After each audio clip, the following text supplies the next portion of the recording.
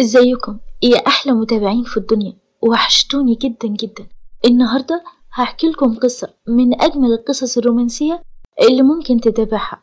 روايتنا للكاتبة الجميلة سوما العربي. يلا بينا نتابعها مع بعض. وقبل ما نبدأ أحب أفكركم. لو أنت لسه ما اشتركتش في القناة أتمنى تشترك فيها وتفعل زر الجرس على الكل عشان يوصل لكم إشعار بكل جديد ولو عجبتك القصة ما تنسونيش بلايك فضلا وليس أمرا ويلا بينا نبدأ. وفي صباح يوم جديد دخل قاسم لمجموعة شركاته وهو في قمة نشاطه. فجودي بدلت حياته وكأنها بتمتلك عصاية سحرية. وده اللي كان بيفكر فيه جميع العمال وهم شايفين ابتسامته البشوشة لأول مرة ونشاطه وحماسه. ففي السابق كان بيعمل بجدية فعلا ولكن بلا روح ولا هدف. أما دلوقتي فبقى بيعمل بحماس وهو عايز يوسع شركاته ويزود أمواله في البنوك عشان يأمن مستقبل أطفاله اللي هينجبهم من طفلته. فدلوقتي بقى بيحلم لبعيد وبيشوف مستقبله مشرق جدا معاها مش متخيل حياته بدونها. وهو دلوقتي بالنشاط ده لأنه نام امبارح على صوت حبيبته وهي بتتمنى له أحلام سعيدة. فنام بعمق وراحة وصحي بالنشاط الرهيب ده ولبس هدومه وخرج من فيلته وهو متجنب الكلام مع والديه واللي من الواضح إنهم لسه على موقفهم. أما قاسم فمقرر إنه مش هيهتم لحد فجودي القاسم وقاسم لجودي وانتهى الأمر. وطلع لمكتبه وقابلته منى فقالت بدلع صباح الخير يا قاسم بيه. قاسم بابتسامة ليها لأول مرة صباح النور. فرحت جدا ورجع لها الأمل من جديد ودخلت وراه وهي مش مصدقة نفسها إنه ابتسم لها أخيرا وما قابلش دلعها بالصرامة والشدة. زي كل مرة. وعشان كده اعتقدت إن لسه في أمل. فهي ما تعرفش إن هو سعيد جدا لدرجة إنه هيبتسم في وش عدوه لو شافه. فاتكلم قاسم وقال عندنا إيه النهاردة؟ تلت عليه كل مهام اليوم وكل الاجتماعات. فغمض عينيه وأمرها بالانصراف. وكانت هتغامر وتقرب منه. ولكن جاله اتصال. ففتح عينيه وثواني ورد قاسم على الاتصال بلهفة جديدة وقال حبيبتي صباح الخير. كانت منى لسه واقفة ما قدرتش تتحرك من شدة حقدها فبص لها باستغراب وقال حاجة تانية يا منى؟ لا يا فندم. طب اتفضلي على مكتبك. بصيت له بغموض وخرجت بسرعة وهي في منتهى غضبها. أما قاسم فما اهتمش ليها وكمل كلامه مع حبيبته وهو بيقول أيوة يا روحي عاملة إيه؟ الحمد لله. وعلى فكرة أنت بتزوغ مني بس أنا سايبك بمزاجي. بزوغ؟ محسساني إني مزوغ من المدرسة. قاسم عشق قاسم. طب أقول إيه طيب؟ عايز أنشف عليك شوية فضحك بصوت عالي لحد ما دمعت عينيه وقال من بين ضحكاته عايزة إيه؟ تنشفي؟ مش قادر جودي تنشف؟ طب إزاي؟ إيه يا قاسم؟ آه انشف منفعش بصراحة لا طب اضحك عليا وقولي ينفع اوف طب اعمل إيه؟ هو الجيلي عمره نشف ولا المهلبية؟ عمرها نشفت؟ قاسم. عيون قاسم. بتكسفني. الله. أهو شفتي؟ ده صوت واحدة ممكن تنشف. يعني ما حاولش؟ آه ما تحاوليش. شوف أديك زوغت تاني. زوغت فين تاني بقى؟ أنت فاكرني ناسية ولا إيه؟ أول امبارح بالليل لما كلمتك كان شكلك متضايق ولما سألتك قلت هتقولي بكرة وجه بكرة وخلص وما قلتش. وأنا بقى متأكدة إن في حاجة لسه مضايقاك. فعلا يا جودي في حاجة مضايقاني بس أنا مش عايزها تأثر علينا. شكلك متضايق بجد.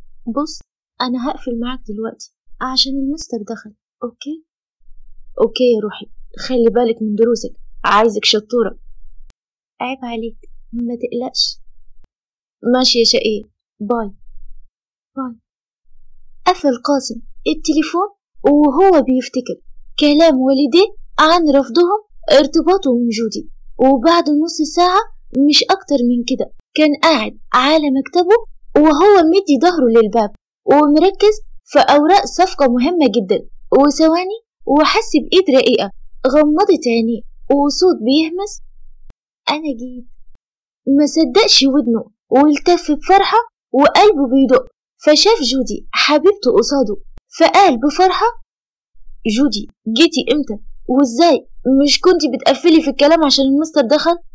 صوتك كان مخنوق وزعلان. ما قدرتش أستحمل. ولما كنت بقفل في الكلام كنت بقفل عشان قررت أجيلك. وكنت عايزة أشوف هعمل إيه عشان أعرف أخرج من المدرسة وأجيلك. بجد يا روحي عملتي كل ده علشاني؟ أيوه طبعا. فخرجت وجيتلك. مش معقول هحس إنك تعبان وسيبك. قاسم مش مصدق نفسه من الكلام اللي بيسمعه وكان بيتساءل هو عمل إيه في دنيته عشان يكافئه ربنا بمكافأة زي دي. فجودي بنت محلمش في يوم إنه يلاقي زيها من الأساس صغيرة وشقية بريئة وجميلة وكمان فاتنة وحنونة بتحبه لذاته وبتحس بيه والأهم إنها حنونة جدا. بتتصرف بعفوية بعيدا عن مكر النساء ودهاء البنات. فاللي بتحس بيه بتقوله ورغم صغر سنها إلا إنها بقت بتفهمه من غير ما يتكلم. فكان قاسم قلبه بيدق من شدة الفرحة واللخبطة فما حسش بنفسه وهو بيرفعها من على الأرض وبيبوسها بلهفة وعشق. فحس بخجلها ما بين إيديه وسابها وقال بصوت مليان مشاعر حبيبتي آسف بس من فرحتي ما قدرتش أمسك نفسي أنا آسف أوعي تزعلي كانت جودي بتهز راسها وبس فما قدرتش تبص في عينيه فشدها قاسم وقعدها على الكنبة وقال أفهم من كده إنك هتقضي اليوم معايا صح؟ آه أحلى مفاجأة ممكن تحصل لي قولي بقى إيه اللي مضايقك؟ فاتكلم قاسم وحكى لها كل حاجة بتخص رأي أبوه في موضوع ارتباطهم. فاتكلمت جودي. وقالت طب يعني كده خلاص هنسيب بعض؟ غضب قاسم بشدة واتكلم بصوت أفزع جودي. نسيب إيه؟ انتي خلاص بقيتي ليا. اسمك اتكتب على اسمي وعمر ما حد هيبعدنا عن بعض. انتي سامعة؟ طب اهدى اهدى بس؟ أنا بس مش عايزة أعمل لك مشاكل مع أهلك ومش عايزاك تخسرهم بسببي. ولو سبتيني هخسر قلبي وهخسر روحي. جودي مش هينفع أعيش من غيرك ساعة واحدة خلاص. شيلي من دماغك أي حاجة تخص الموضوع ده. أنا هتصرف فيه وإن كان على أهلي. لو ما تقبلوش جوازنا دلوقتي بكرة يتقبلوه. لكن أنا مش هقدر أتنفس بعيد عنك. انت بقيتي هوايا بقيتي نبضي. أنا بحبك قوي يا جودي. بجد أول مرة أحب وأول مرة أقولها لحد. خليكي معايا من غيرك مش هعيش يوم. حاضر يا قاسم. قالت كده وثواني وشدت إيده وقالت هات إيدك. إيه هتخطبيني؟ لا بس أنا زوغت من المدرسة وقررت بالنيابة عني وعنك إننا نتفسح النهاردة. أوكي تعالي. لا أنت اللي تعالى معايا. أنت فاكرني هروح الأماكن الكئيبة اللي كنت بتوديها لي دي؟ كئيبة؟ دي أشيك وأغلى أماكن في مصر. لرجال الأعمال وبس. هو أنا قلت إنها رخيصة؟ لا أنا قلت إنها وحشة. هي شيك بس ما فيهاش روح. ما عجبتنيش. هات إيدك بس. ده أنا هظبطك. قاسم بحاجب مرفوع. باستنكار؟ تظبطيني؟ تصدقي بالله أنا لو كان حد غيرك قال لي هظبطك دي لكنت مموته بإيدي. خلاص خلاص. بلاش أظبطك. خليها أشهيصك. ها إيه رأيك؟ بس بس امشي قدامي من غير كلام بدل ما افقد اعصابي.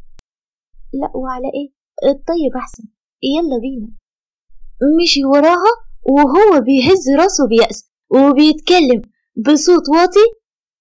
قال أظبطك قال. قاسم مهران هي اتقال له أظبطك.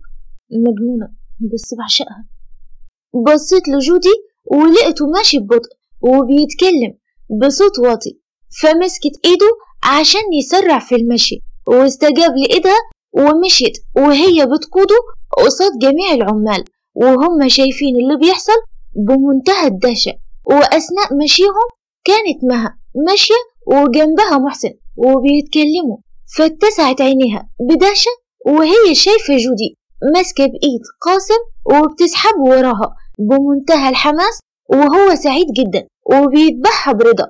فمرت جودي من قصادهم وقالت بسرعة إزيك يا مها؟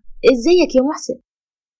شهقت مها وقالت بصدمة جودي بتعملي إيه هنا؟ زوغتي من المدرسة يا جودي؟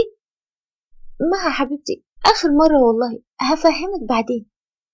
قالت كده وهي بتشد قاسم ودخلت المصعد. فاتكلمت معها بغضب وقالت جودي يا جودي ولكن كان المصعد اتقفل ونزل بيهم لتحت فقالت معها من أولها بتزوغ البت مستقبلها ضاع خلاص.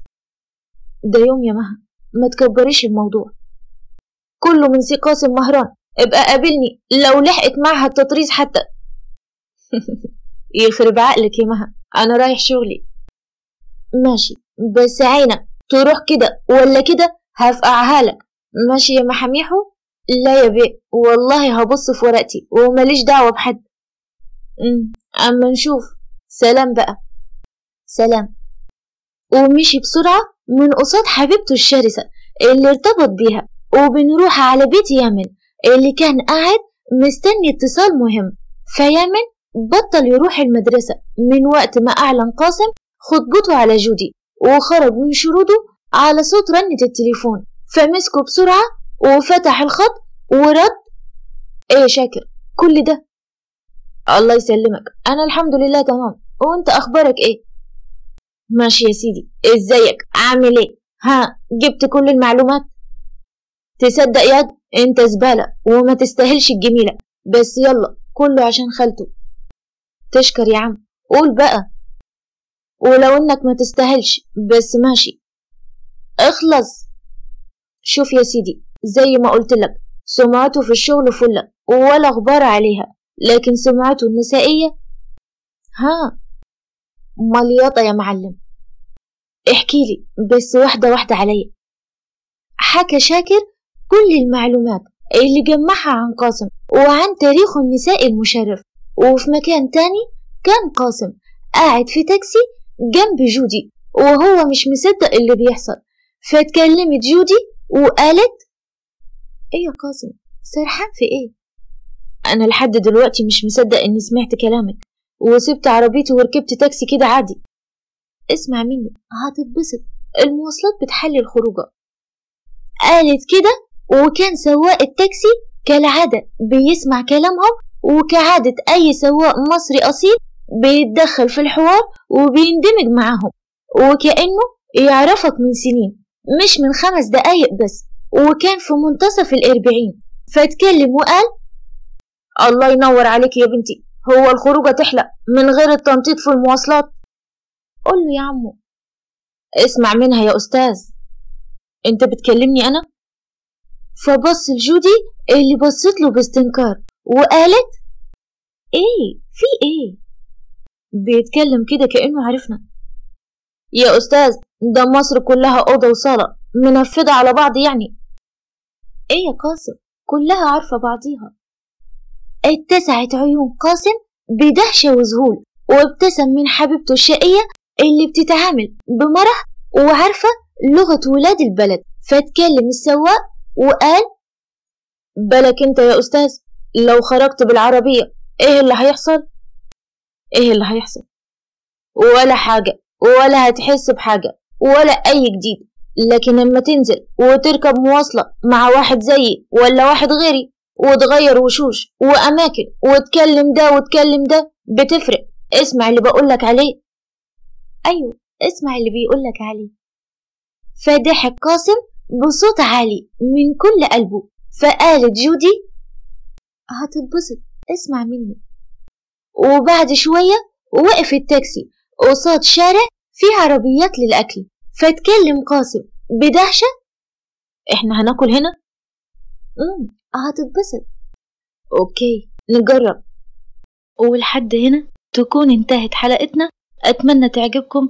مستنية رأيكم في التعليقات. وما تنساش لو عجبتك تدعمنا ب like لأنه بيساعدنا جدا وبيشجعنا على الاستمرار. أستودعكم الله. مع السلامة.